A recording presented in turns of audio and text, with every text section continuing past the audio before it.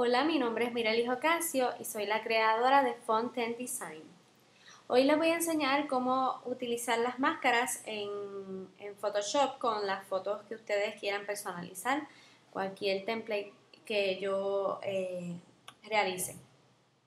Vamos a primero abrir el programa de Photoshop, que ya lo tengo abierto, y luego vas a buscar el folder de las fotos que vas a utilizar y el folder de como este, más o menos algo así es como te llegará del template que compraste de mi tienda. Bueno, pues nada, me encantan estas fotos de Nina Louvier.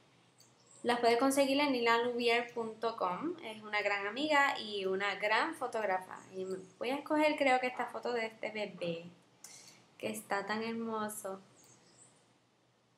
Simplemente escoges, arrastras encima de Photoshop, suelta, entonces abre el programa, ¿verdad? Abre el template. Tengo estos dos tabs. Tengo el tab de la foto del bebé y el tab del template como tal. Lo que voy a hacer es que voy a ir al tab del bebé, voy a escoger la foto, voy a arrastrarla, seleccionándola aún y luego la voy a soltar encima del otro documento. Ahí apareció. Eh, primero que nada, vas a ver algo como esto. Este layer, que lo podemos esconder luego, te indica las líneas de corte. Cuando se vayan a imprimir, pues vas a poder, eh, por aquí es que la gente va a cortar. Y eso, esta parte es la que se, no se necesitará después, pero es bueno que tu foto se extienda hacia esas orillas de acuerdo a los masks, ¿no? ¿Verdad? Lo que hacemos es que escondemos ese layer, no lo vamos a usar ahora mismo. Aquí tenemos el layer de la foto del bebé, vamos a ponerle un nombre, le di doble clic, le vamos a poner baby, cute baby, vamos ahí.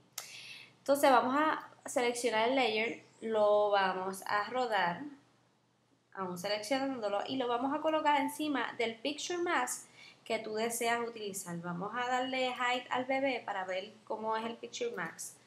Esto, este es el picture mask de este template. Ahí te dan unas instrucciones sencillas para que no se te olvide lo que yo te voy a enseñar ahora.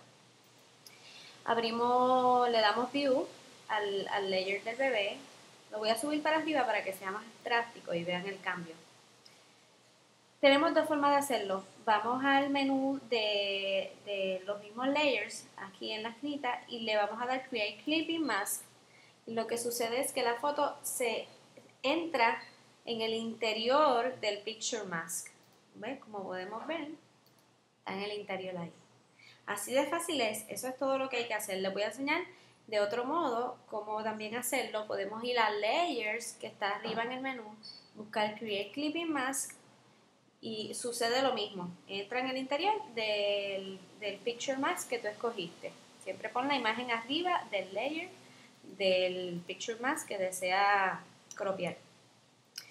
Lo que hacemos ahora es que cliqueamos en el layer de Baby y lo vamos a bajar, a, este, lo vamos a bajar, lo vamos a mover eh, con las flechas o con el mismo mouse. Yo quiero quizás hacerlo más grande, entonces le doy comando T para transformarlo y con Shift y comando porque lo quiero hacer más grande pero desde el mismo centro lo, agrando, le doy enter y ahí está nuestra imagen. ¿Qué pasa? Que quiero moverlo también un poquito hacia la derecha. Pues vengo con el mouse o con las flechas y lo muevo. Más o menos algo así es lo que yo quiero. Perfecto. Así que ya tenemos que esa es la manera de tu poder crear un clipping más con la foto que quieras utilizar. Tengo otros templates que pronto voy a estar subiendo, así que pendiente de cómo cambiar el color eh, y otras cositas más. No, no, dudes en preguntarnos en nuestro Facebook, facebook.com slash design.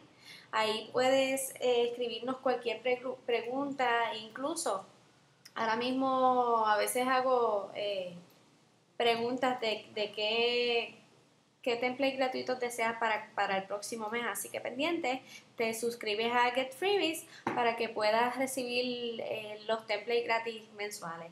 Muchas gracias y yo creo que eso ha sido todo por este tutorial. Nos veremos en Fontaine Design. Cualquier pregunta que tengas me la dejas saber.